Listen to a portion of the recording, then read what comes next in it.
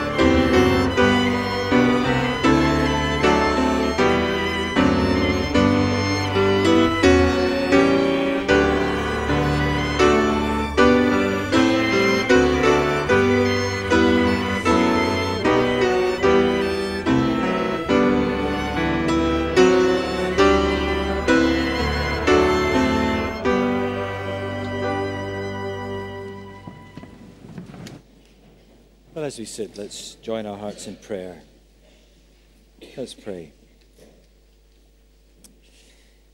We bow before you, O Lord our God, our shepherd, the one who leads us in paths of righteousness, in right paths, all for your great name's sake, even though we have often strayed foolishly, perversely.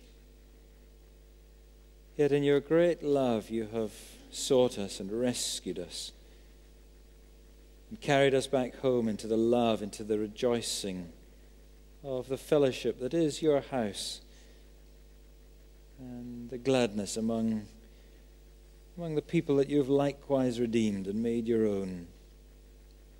How we marvel, Lord, at your loving condescension towards people like us, even us.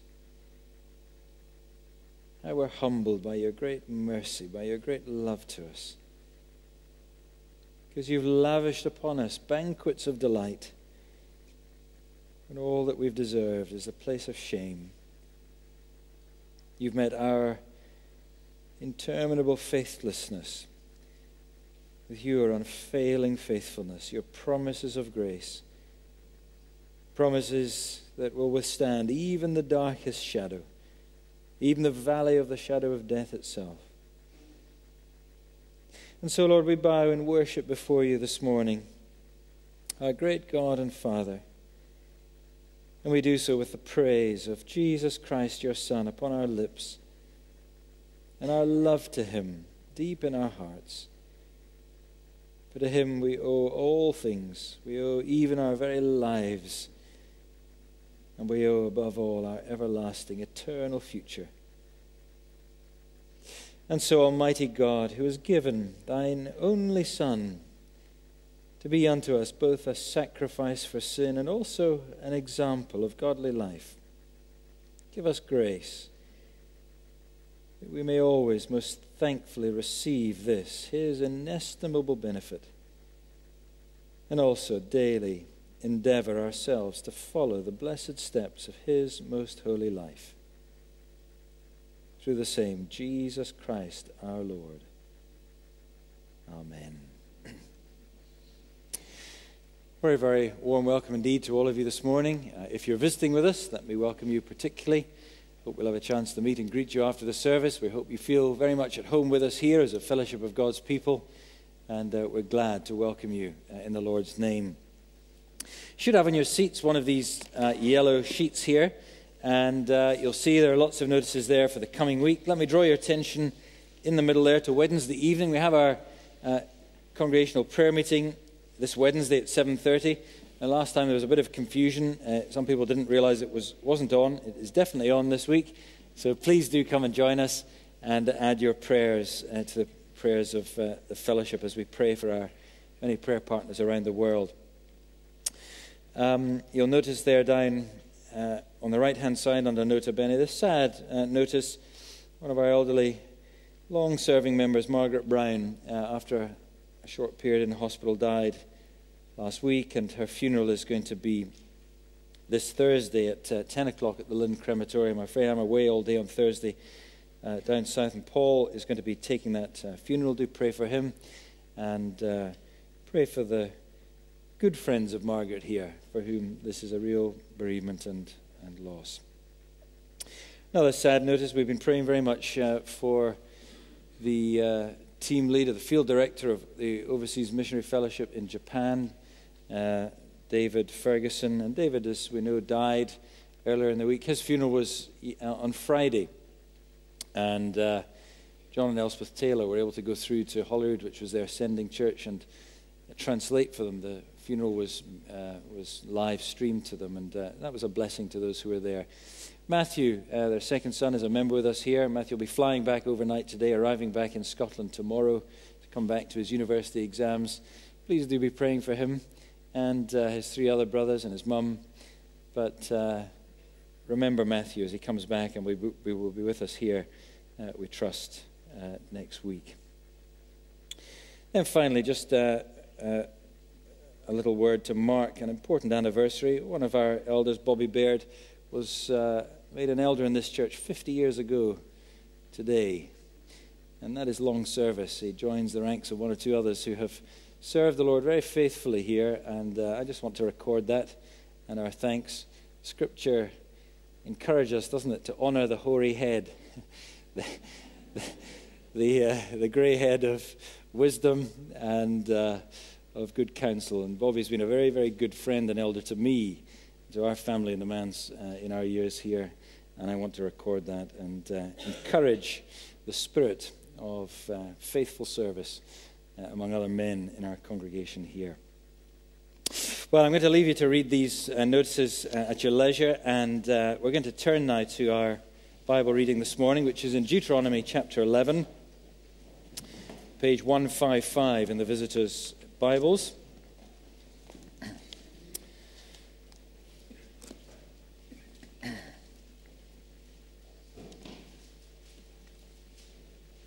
And you'll see that we were looking at the long section last week in chapters 9 and 10. And in a way, really, the first verse of chapter 11, I suppose, could be the, the rounding off verse of what goes before. It sort of rounds off and repeats uh, the same message and then leads on into this chapter. uh, look back to chapter 10, verse 12. And now, Israel, what does the Lord your God require of you? To fear him, walk in his ways, love him, and so on. And again, chapter 11, verse 1 You shall therefore love the Lord your God, keep his charge, his statutes, his rules, and his commandments always. And consider today, since I'm not speaking to your children who've not known or seen it, consider the discipline of the Lord your God, his greatness, his mighty hand, his outstretched arm, his signs and his deeds that he did in Egypt to Pharaoh, the king of Egypt, and to all his land, and to what he did to the army of Egypt, to their horses, their chariots, and how he made the water of the Red Sea flow over them as they pursued after you, and how the Lord has destroyed them to this day. And, that is, consider also what he did to you in the wilderness until you came to this place. And what he did to Dathan and Abiram, the sons of Eliab and of Reuben how the earth opened up its mouth and swallowed them up with their households, their tents, and every living thing that followed them in the midst of Israel. For your eyes have seen all the great work of the Lord that he did. You shall therefore keep the whole commandment that I command you today, that you may be strong, and go in and take possession of the land that you're going over to possess and that you may live long in the land that the Lord swore to your fathers to give to them and to their offspring, a land flowing with milk and honey. For the land that you're entering to take possession of is not like the land of Egypt from which you've come, where you sowed your seed and irrigated it or watered it with your feet, like a garden of vegetables.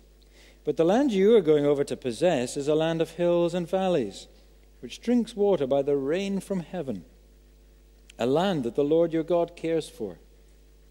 The eyes of the Lord your God are always upon it from the beginning of the year to the end of the year. And if you'll indeed obey my commands that I command you today to love the Lord your God, to serve him with all your heart, with all your soul, he will give the rain for your land in its season, the early rain and the latter rain, that you may gather in your grain and your wine and your oil. And he will give grass in your fields for your livestock and you shall eat and be full. Take care lest your heart be deceived and you turn aside and serve other gods and worship them.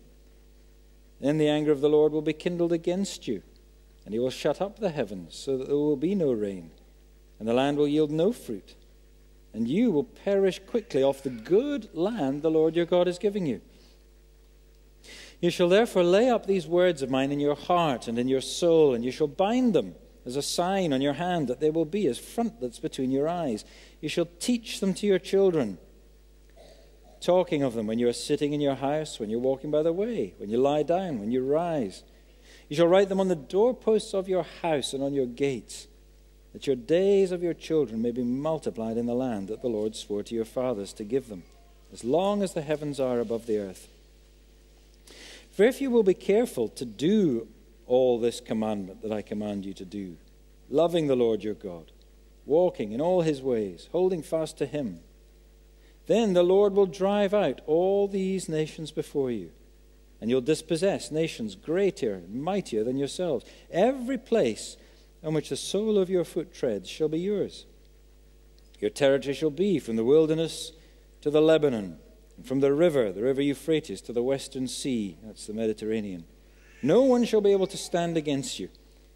The Lord your God will lay the fear of you and the dread of you on all the land that you shall tread, as he promised you. See, I am setting before you today a blessing and a curse.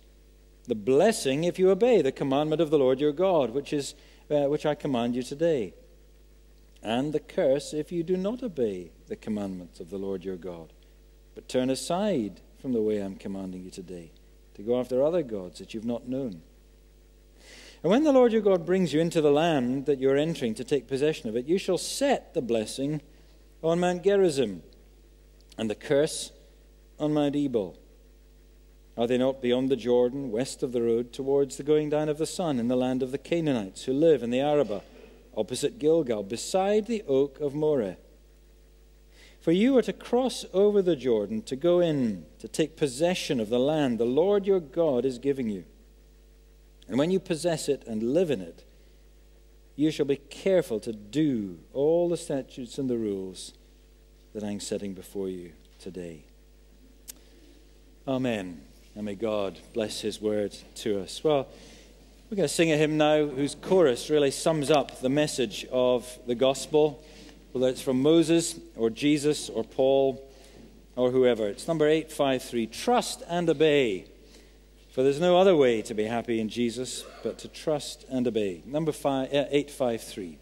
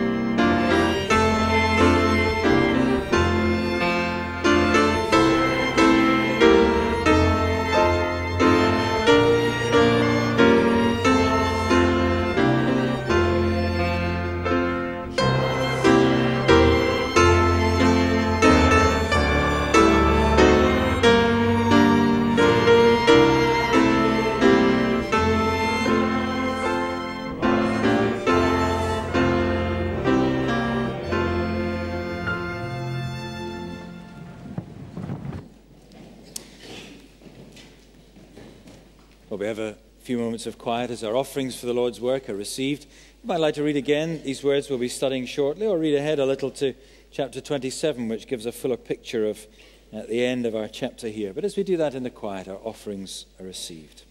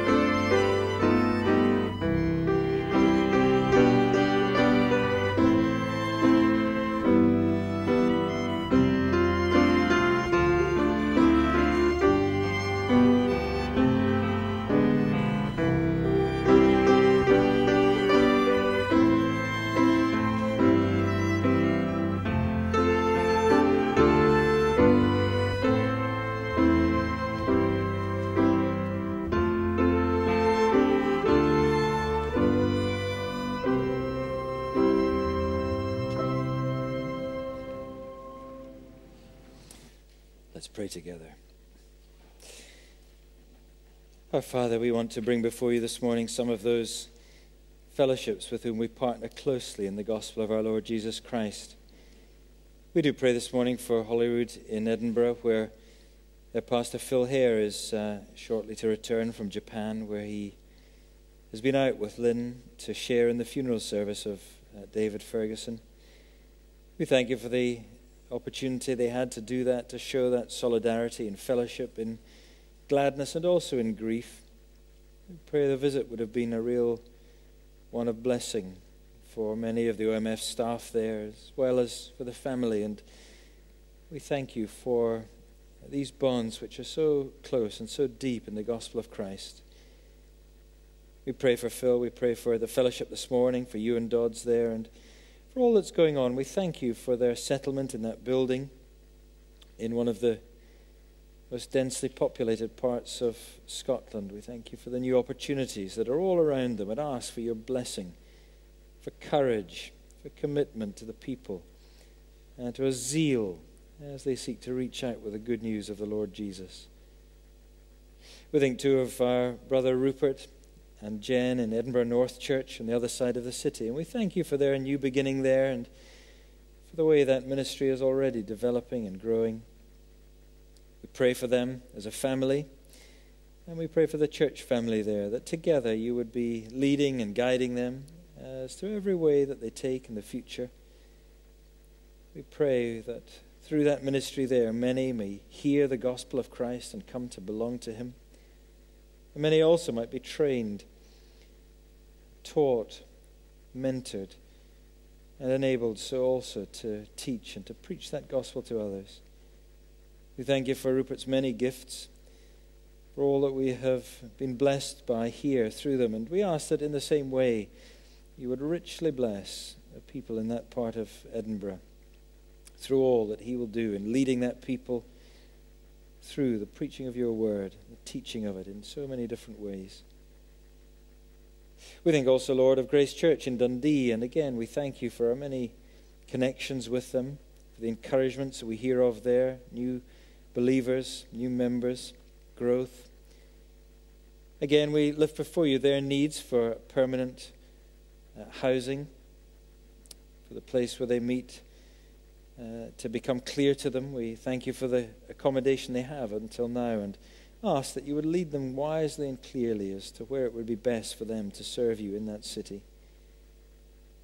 We think too, Lord, of Cornerstone Fellowship in Stirling, and again we rejoice in the ministry there of Callum Jack, and we thank you for the way that church too has grown, both in maturity and in numbers. We thank you for some of our own fellowship here who have gone and found such a warm home there.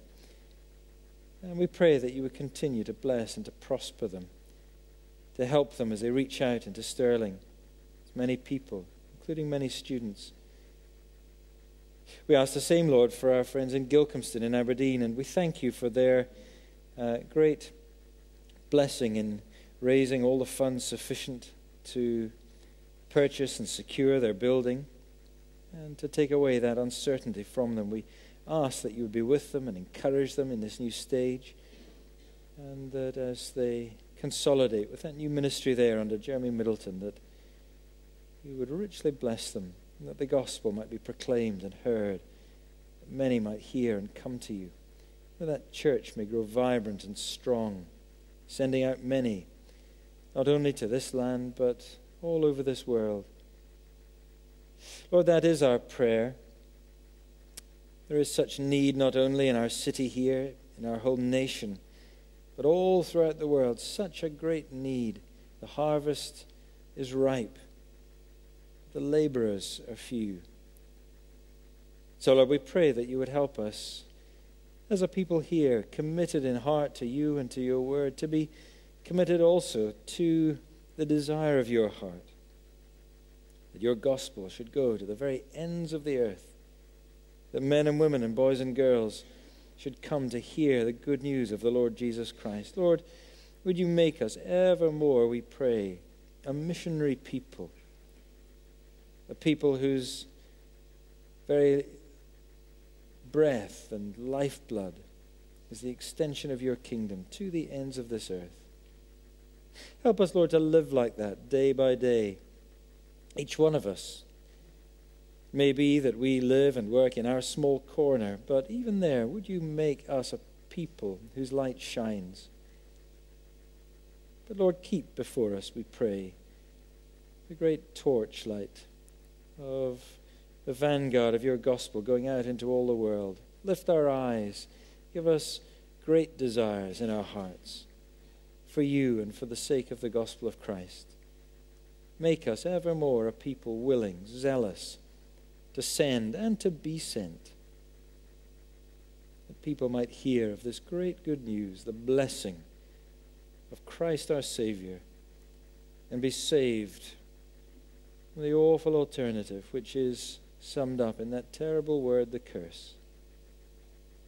So, to that end, Lord, we pray that this morning, as we come to your words, you would open our hearts, open our ears Help us to receive your word seriously, truly, deeply, and respond with all of our hearts, that you might lead us evermore in the way everlasting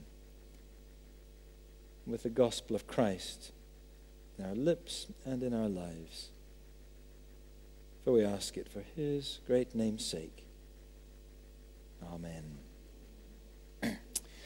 Well, as we come to God's word, then we sing the hymn on the screens now. In reverence and awe, we gather round your word.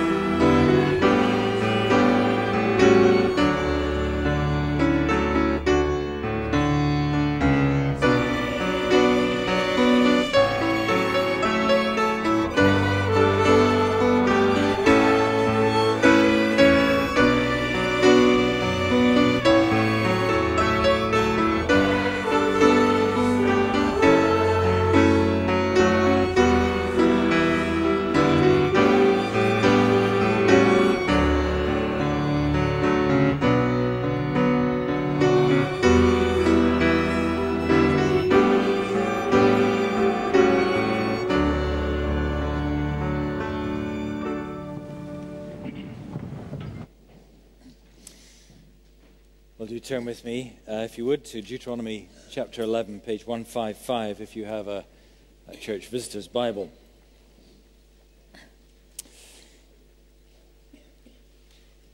The call of the Christian gospel is not something to be discussed, uh, debated, it's something to be done. It's not something to be observed in a sort of detached way, it's something to be obeyed in a deeply personal way. Bear fruit in keeping with repentance and do not presume. It was John the Baptist's call at the very beginning of Jesus' ministry. Follow me, says Jesus. And don't call me Lord and not do what I tell you. Pretty clear. It's through obedience to the truth, says the Apostle Peter, that we are born again through the living and abiding Word, which remains forever. And that is what real repentance and faith means. And it's always been so. We saw last time that uh, Deuteronomy chapter 9 and 10 uh, gives us a vivid description, doesn't it, of that real penitent faith as circumcision of heart. Verse 16 of chapter 10 Circumcise, therefore, the foreskin of your heart, and be no longer stubborn. A cutting right to the heart to cut away our rebelliousness and yield to the Lord Jesus Christ. Yield to God, uh, the one who is the Lord of earth and heaven and everything in it. And in chapter uh, 11 here, you see uh, Moses continues to describe for us what that will really look like in people in whom there is the real fruit of real repentance, wholehearted, loving obedience to the great Redeemer, the one who is the ruler indeed of the whole wide world. But there is a choice. And this chapter hammers that choice home to us. Look at verse 26. See, I'm setting before you today a blessing and a curse. Just because God is the sovereign, absolute ruler of all things and all people, that means that he cannot be trifled with. His commands cannot be treated lightly, far less can they be despised or ignored. No, we bow to him in, in loving loyalty to his command and his rule, and that is the way to life. And the only way to life, it is the way to blessing. It is the way to lifelong enjoyment, indeed, of God's great blessings. But to refuse his command is to forfeit all of that.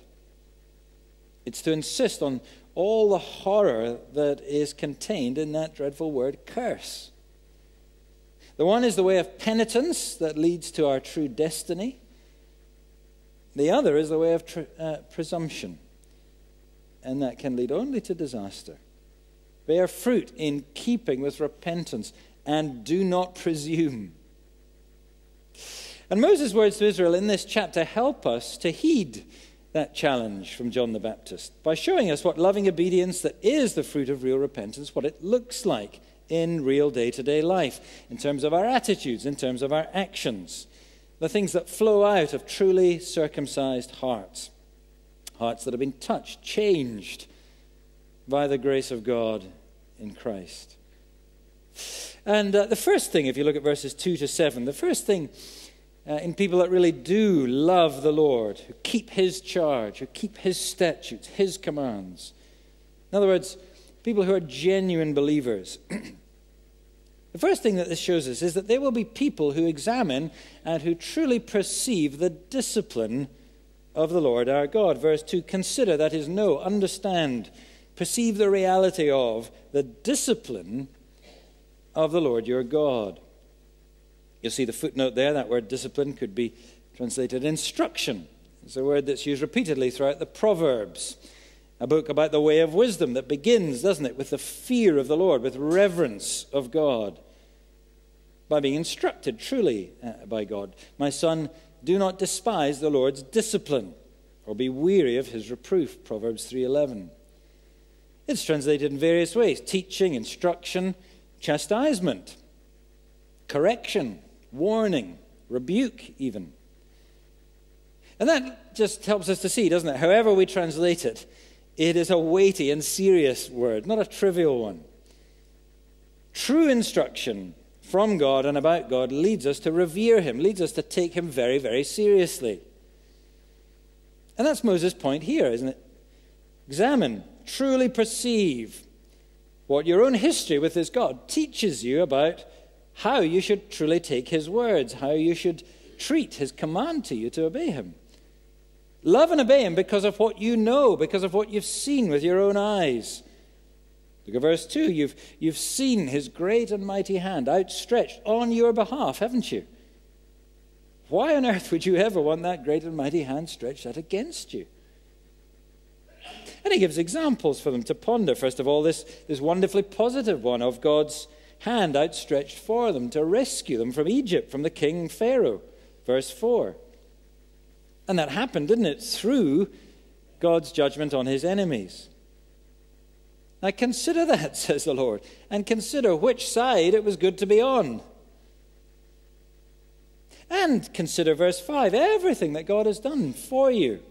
All these years in the wilderness until you came to this place today, this moment of destiny, all that He has done to preserve you, to bless you. Consider that. We had a summary of all of that back in verses 1 to, uh, chapters 1 to 3 of Deuteronomy, didn't we? But just listen to some words from Psalm 78, a great psalm that uh, tells the history of God's people. He divided the sea and let them pass through it. He made the waters stand in a heap beside them. In the daytime, he led them with a great light, in the night, with a fiery light. He split rocks in the wilderness to give them drink abundantly as from the deep. He made streams come out of the rock and caused waters to flow down like rivers. Abundant blessing. Yet, they still sinned more against him, rebelling against the Most High in the desert. They tested God in their hearts. They spoke against God. Can God provide a table in the wilderness? Can God really give meat and bread for us? Therefore, when the Lord heard, he was full of wrath. His anger rose against Israel because they did not believe in God. They didn't trust in his saving power.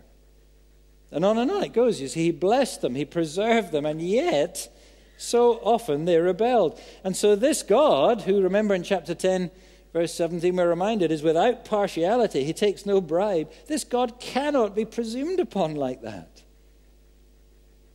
And many times he had to bring judgment upon his own people because of their sin. Consider that, says Moses. And be deep and real in your repentance, not superficial. That is presumption. Examine your own history and understand, consider the reality of God's discipline. Not least, verse 6 there, you see that terrible incident with Dathan and Abiram and Korah. You'll read about it in Numbers chapter 16, where they rebelled against the authority of God, against his word through, through Moses and Aaron. Look and learn, he says. Don't fail to take God's word seriously. You read the story. As it says here, the earth opened up and swallowed these men and everyone with them because they challenged the authority of God's word and his command to them through Moses. And by the way, in the New Testament, the Apostle Jude refers to that story, and he calls those who are perverting the truth of God in the New Testament era, perverting the truth of God into sensuality, he calls them people just like that. And he says, For them, utter darkness has been reserved forever. That ought to be a terrifying word, oughtn't it, to those who, who are trying to pervert the grace of God today into sensuality, into a license for per- perverted sexuality. That is happening in the Western church all over the place today.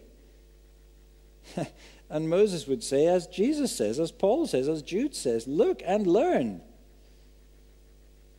Don't think that just professing to be my people means anything at all if you don't hear and heed my commands. Don't presume upon God.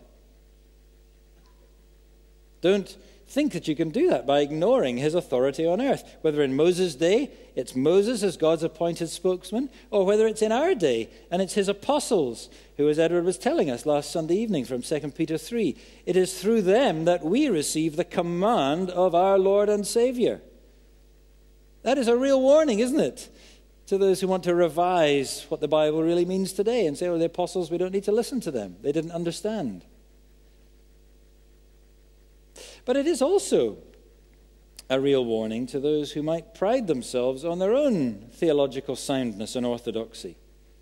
Don't you presume either, says the Lord. Don't presume on your orthodoxy, on your very reformed and evangelical understanding of God's sovereign election and salvation. No, no, no. It is not God's sovereign election per se that saves us, it is election to holiness.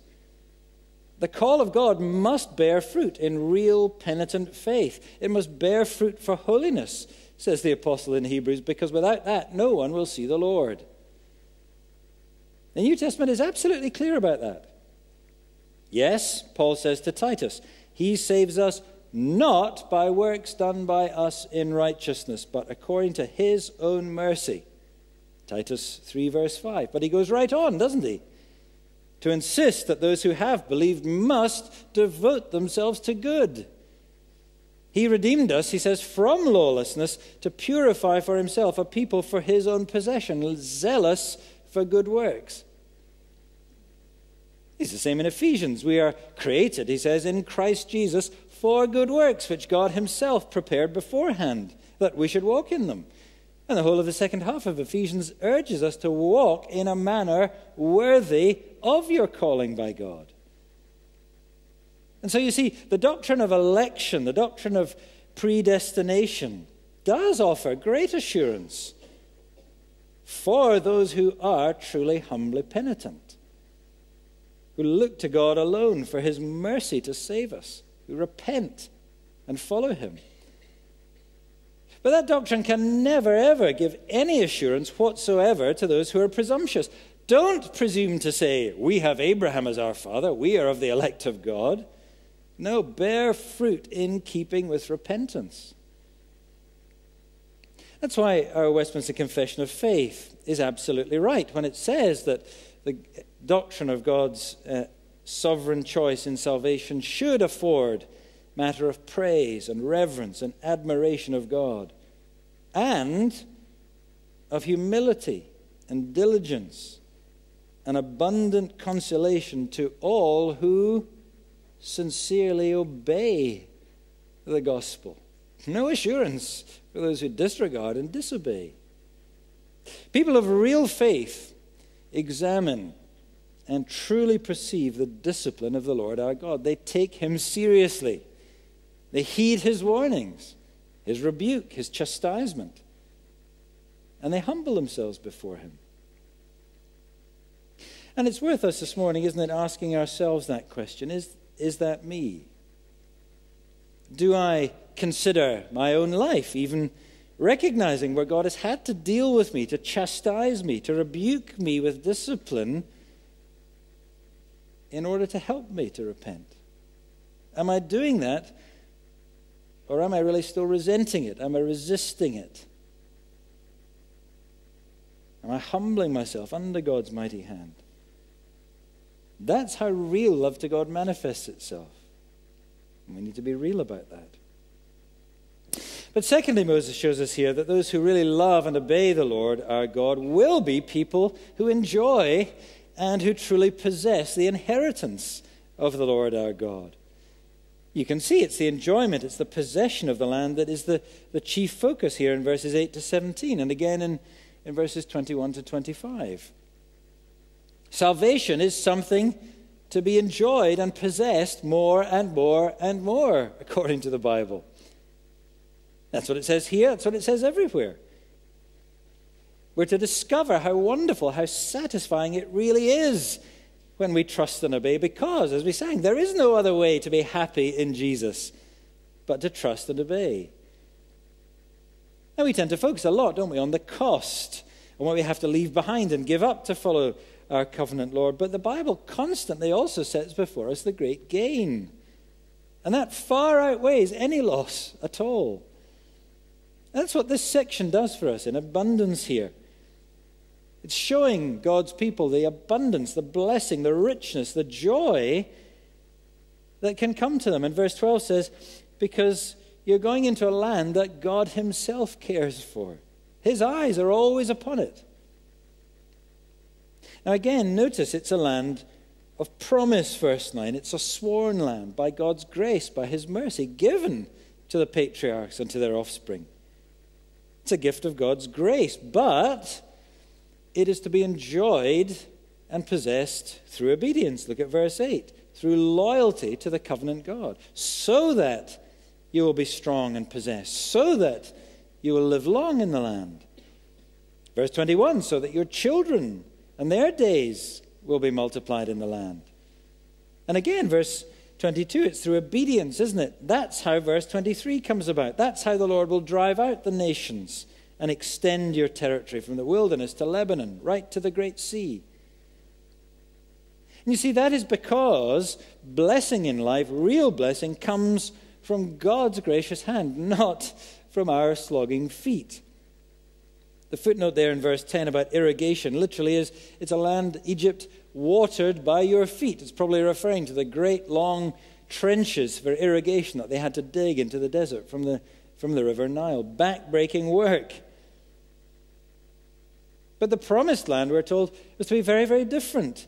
It's going to be watered by rain, by rain from heaven, drinking in the rain from heaven. And that's a, a geographical fact. It's a land of hills and valleys. It's different from Egypt. But it's also a great theological truth that's being spoken here. It harks back, doesn't it, to Genesis chapter 2, to the Garden of Eden. Remember God Himself planted a garden where He would be, and He watered it with springs from the earth, and a river ran through it. And what Israel is being told is this land is the beachhead of the new Eden. This is where God's blessing is going to be shown. This is where the curse which you remember was the, the working of the ground by the sweat of your brow. It's where it's being pushed back through the blessing and the promise of God. It's where God's people are getting a, a, a preview, if you like, of what this whole world is going to be like one day. And yes, the blessings are expressed in, in physical terms, there's no doubt about that. But it's a mistake. It's a mistake to see what is promised here as merely uh, material prosperity. It's not. Sometimes people say, oh, in the Old Testament, God's blessings were, were physical and material, and in, in the New Testament, it's different. They're spiritual blessings. But if you read the Old Testament, that's just not so. It's, it's much more complex than that. Read Proverbs, read Ecclesiastes, read Job.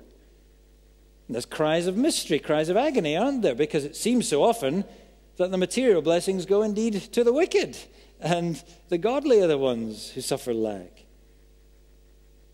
And that's just telling us, isn't it, that true prosperity is always more than merely about material things, even then. And, and even in this chapter here, the language is not just merely that of material abundance. It's speaking, isn't it, about the fulfillment of God's covenant promises, the great spiritual promises that He gave to Abraham. It's speaking of the restoring of this earth. Verse 21 there speaks, doesn't it, of covenant blessings being fulfilled, the, the, the seed of faith multiplying greatly. So does verses 24 and 25. It's talking about the land of God's promise being extended to the full boundaries of the promised land. And Jesus himself, doesn't he? He promises us living in this age, this age when the, the life of the new world is breaking into this earth in every place because of his resurrection and his glory and is being extended now to the whole of this earth. He says that we too, as his people, will experience real, tangible blessings even here and now in this life if we wholeheartedly trust him and obey him and follow him. Do you remember Peter asks Jesus in Mark chapter 10 and says, Lord, we've left everything to follow you. What will there be for us? And Jesus says, Yes, no one who has left all these things for my sake in the gospel will not receive a hundredfold now in this time houses, brothers, sisters, mothers, lands, with persecutions, and in the life to come, eternal life. Yes, persecutions because the world hated him and will hate us also. But also great, great blessings, real and present, to enjoy. And the true richness of life that he is speaking about is the life that can only truly be known inside the kingdom of God, where God's eyes are constantly on his people. where His blessings are rained down from heaven. And we share so much in the way of brothers and sisters and mothers and fathers and homes and lands just through knowing life as it's truly meant to be, bound together as the people of God. Life in His presence among His people, enjoying His blessings. What is the real richness in human life, even now in this world? It's in relationships, isn't it? The poorest person in the world is the one who has no friends, no family, no one to love, no one to love them.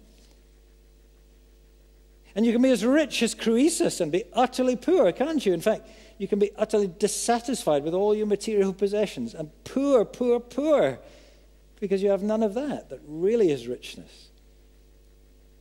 And yet you can have so much less and have a life that is truly rich full of joy, full of sheer enjoyment in the bonds that you can have with so many of the Lord's people all over the world. It's one of the wonderful things, isn't it, about being a son or daughter of our Heavenly Father. Wherever you go in this world, you will find brothers and sisters, mothers and fathers to help you, to love you, to serve alongside you, to bless you. That's true, isn't it? You see, if you're a believer who is really gripped with the gospel of Christ, if you're really living out that life of true repentance, you will be someone who is enjoying true prosperity even now.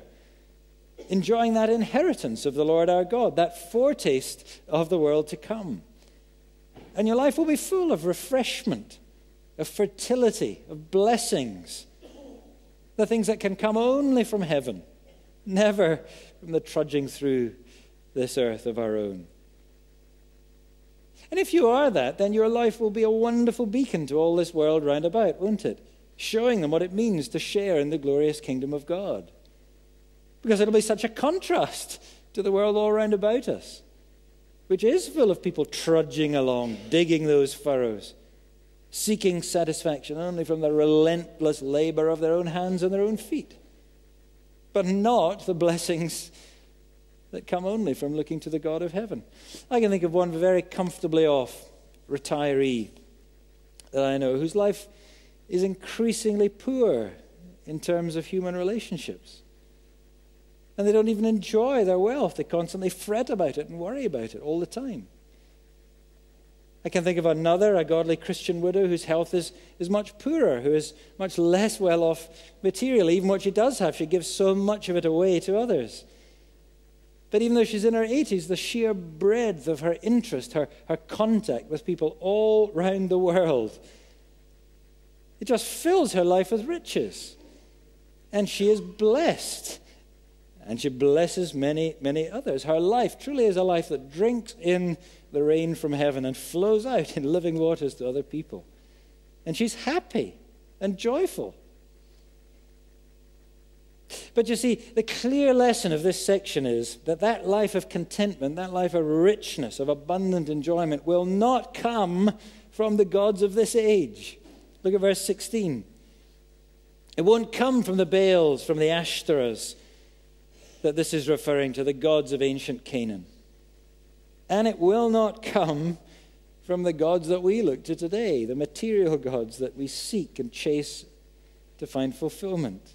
In that way, God says, lies poverty and disaster. And that's how the story of Israel unfolds. Read on into the book of Kings. Read the story of Elijah. What happened? The disobedience of God's people and their king led to the, the rain of heaven being absolutely shut off and parched dryness in the land. Ultimately, of course, they were evicted completely from the enjoyment of the land because of their sins in the horror of exile, the curse of exile. And doesn't the Lord Jesus teach us precisely the same thing?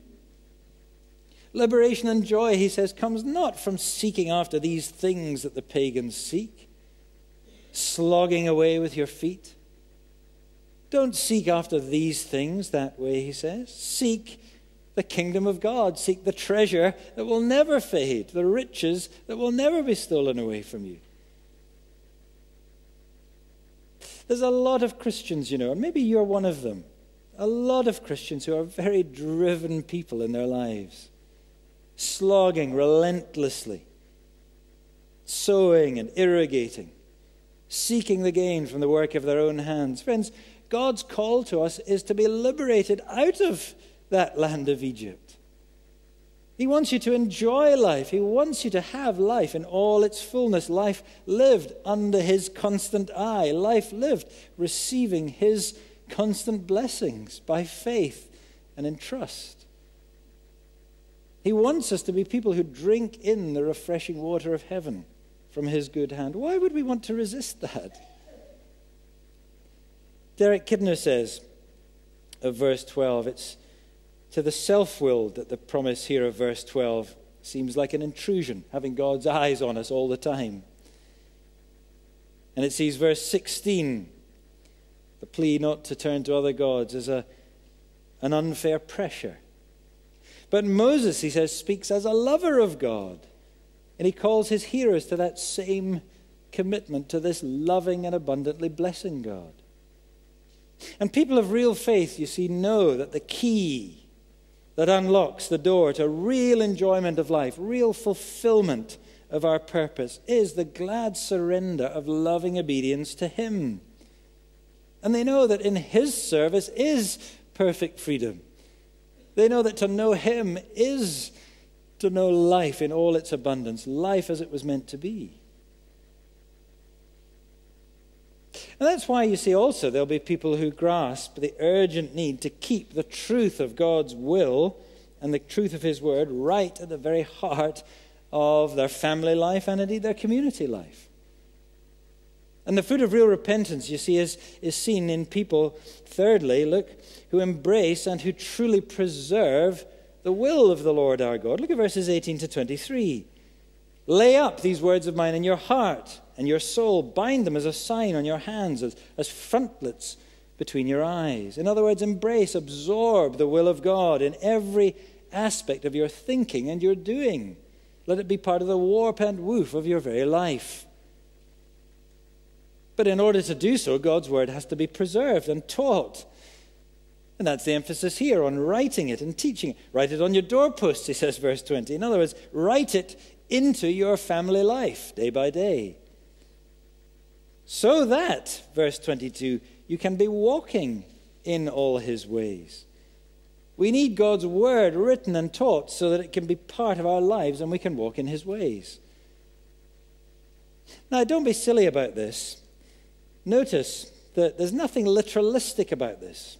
We saw it already in chapter 6 where Moses says the same thing. He was not telling them literally to make boxes and put copies of the law in it and stick them on their heads and their hands and walk about as though that would make them holy. That's not what he's saying. It's absurd to be literalistic like that. What he's saying is he wants his words to be in their heads and in their hearts and in their thoughts and in the actions of their hands, everything that they do. Proverbs 3, verse 3 says, Let his covenant love and faithfulness never forsake you. Bind them around your neck, write them in your hearts, make them part of you. That's what it means. It's just foolish literalism that could think anything else. God's word must be heard, written, spoken, digested, become part of us. Nothing literalistic about this. Nor is there anything legalistic about it. Again, remember chapter 6. When your son or your daughter says to you, Why are we to do this? Why do we obey this command? You're to say to them, Because we are a people redeemed by the Lord our God. He rescued us out of bondage. He's leading us in the way of blessing. He knows the way to bless us in life, and we trust Him and we will follow our good shepherd. Nothing literalistic and nothing legalistic, but nevertheless, it is something very real, isn't it? There's no middle way here. It's a must for every household of faith, he says, so that this is lived out in reality. God's word is given, it's written clearly, verse 22. All this commandment that I command you today to be truly lived out, to be taught, to be passed on. And it needs to be in your heart and soul, it needs to be visible in your life, in the work of your hands. Otherwise, it will be just hypocrisy, won't it? And that will be exposed. Hypocrisy is always exposed. And one of the great exposers of hypocrisy is our children. They see, don't they, when we say one thing and do another. We can't dodge responsibility for our children if we take these words seriously. Parents, listen. Fathers, listen. God will hold us to account for what we teach our children and for the example that we show our children.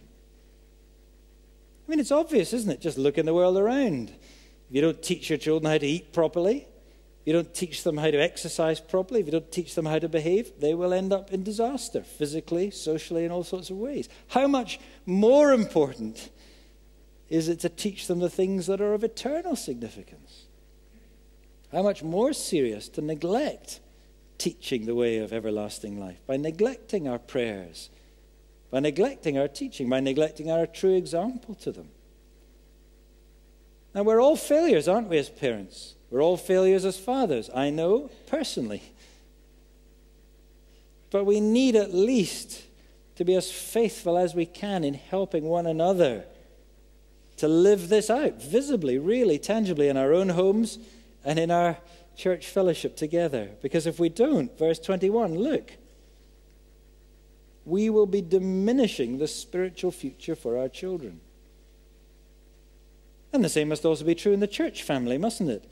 We must embrace the true will of God, preserve it, teach it everywhere in the church. To the spiritual infants, to those who are coming to faith and beginning to understand, so that their future will be preserved, so that the gospel will be preserved, so the church will be preserved. Why is the church in the West today in such terrible decline? It's because, isn't it, the words of God have been erased from the doorposts of the churches. We've sought the, word, the world's approval. We've sought to please and appease the world. So we rub it all off and say, no, no nasty commands here that you don't like. And what does the world do? It walks past and ignores. But look at verses 22 and 23 here. What is it that gives the church real power, spiritual power, in the midst of a pagan culture, a hostile culture? To really prevail, to really conquer, to really grow and thrive? Not assimilation to the culture, trying to please the unbelieving pagan world, but fidelity to the one true and living God. Hold fast to Him and he will overcome for you every tribe, every obstacle, every enemy. Friends, that is a lesson we need to learn and keep relearning in this Western world of ours today. And that makes the last part here, verses 26 to 32, all the more pertinent.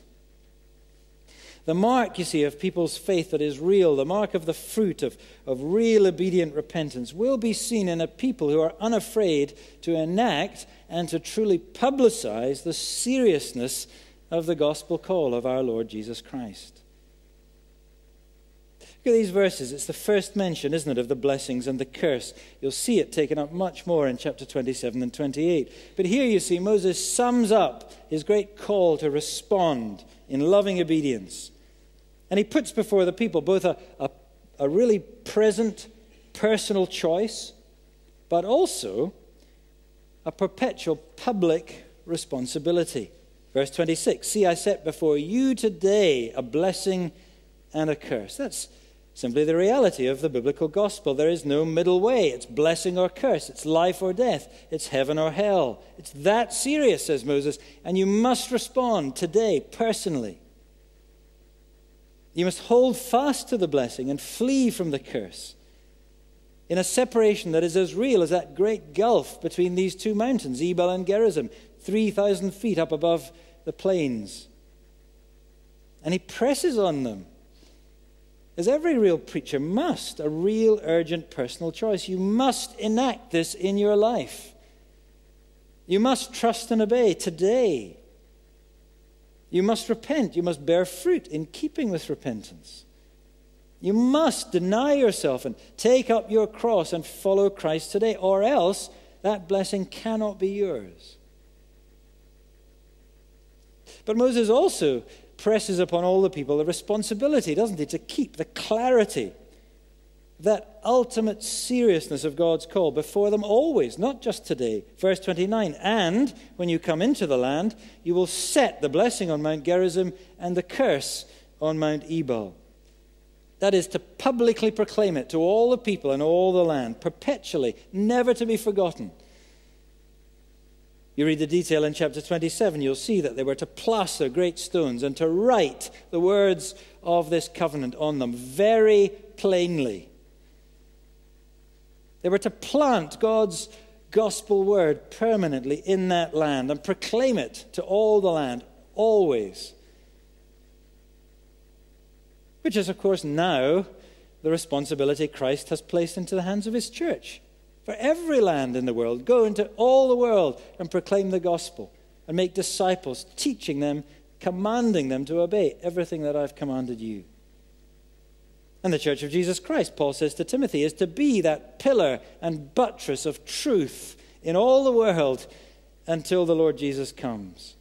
Preserving the clarity, the seriousness of God's call for everyone to see and to hear until the end of this age and how vividly these verses give that clarity and depict that message of a great gulf between heaven and hell, life and death, blessing and curse. The very geography proclaims it so vividly, doesn't it? As does the history. Look at verse 30. Where was all this to happen? At this place by the oak of Moreh. Well, if you read back to Genesis chapter 12, you'll see that is the very place that God promised Abraham and said, not for these Canaanites, but for your seed will belong this land. And let me tell you that for 400 years, every Canaanite in the land laughed and scoffed at the very thought of such a preposterous promise. I know that many in Israel thought the same. When is that ever going to happen? Well, they would not be scoffing much longer as they saw God's promise fulfilled and his people receive that land. What is the message? Take the word of this God very, very seriously. What he says will come to pass, no matter how long it might seem to you, both in blessing and in curse. A powerful public reminder, a memorial set on a hill of both the, the infinite mercy, the grace of God, the kindness of God, promising blessing, a future, victory, fulfillment of his promises. But also reminding of the terrible reality of a curse upon sin and rebellion that rejects his grace, that spurns his covenant call. Friends, isn't our responsibility exactly the same today? Mustn't we publicize truthfully and honestly to all the world, as a city set on a hill, as a, as a light to the world, as Jesus says, the seriousness of his call to obedience? which is a call with no middle way. It is life and death, blessing and curse, heaven and hell. Isn't that our responsibility? If we're people of real faith, whether there is hatred and resentment, whether the message is scorned and scoffed at, whether we are hated and resented and scorned and scoffed at. But isn't it also a wonderful, wonderful privilege to declare the good news that there need not be that curse. It need not be death and hell, but there can be the blessing of life, of heaven itself. Because you see, these two hills, with all their solemnity, with all their truth, they point us, don't they? They point us forward to another hill, not so very far away from these hills, where that mount of awful curse became also the mountain of infinite blessing. The hill of Calvary, the Mount of Crucifixion, where the curse of God and the blessing of God came together, where his wrath and where his mercy met in the person of our great Redeemer, the Lord Jesus Christ, in his own body on the tree. Where he, the Son of God, Paul says, became a curse for us, so that the blessing of Abraham might come to us and where the mountain that was for him the place of utter cursed forsakenness, everything Ebal promised, so that that same mountain might become for us everything that Gerizim promised the blessing, a future, grace, mercy in the hands of God. That was the message, wasn't it, that the apostles of Jesus Christ took to the world, not just to the Jew first, but also to the Gentiles. We are Christ's ambassadors, he said. God is making his appeal through us. It's the same gospel he spoke through Moses, but now it's all the more urgent, and we implore you be reconciled to God today. On behalf of Christ, we implore you. For our sake, God made him who had no sin to be sin, so that we might through him become the righteousness of God. He bore the curse so that you might find the blessings that are truly his. Today, they're saying, you must choose blessing or curse, life or death, heaven and hell. We implore you, choose life. Choose Christ. Seize his cross. Don't scorn his cross. If you do, you, you trample underfoot not only the salvation of God, but the Son of God himself, who loved you. And to do that, says the apostle, is to call down upon yourself the curse, the most terrible, unimaginable curse that is irreversible, that is everlasting. Friends, it's that serious. And Christians and churches that show the fruit of real repentance, that are obeying lovingly their own Lord, they must not only make that real in their own lives personally, but we must perpetually, constantly, publicly proclaim that message to all the world in the sight of all.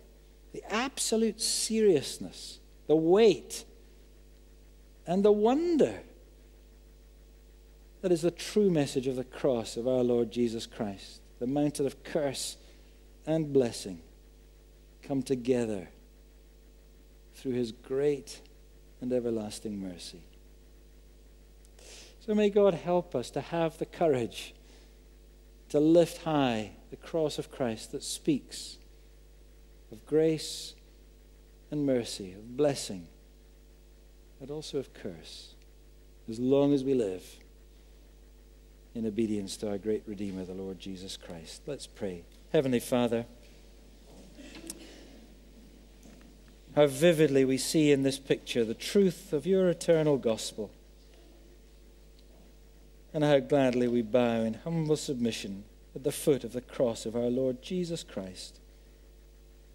Give us grace, we pray, to receive this, his inestimable benefit, and daily ourselves to follow in his blessed steps and proclaiming his blessed gospel. For we ask it in Jesus' name. Amen. Well, we close this morning by singing the great gospel hymn Lift high the cross, the love of Christ proclaimed, till all the world adore his sacred name.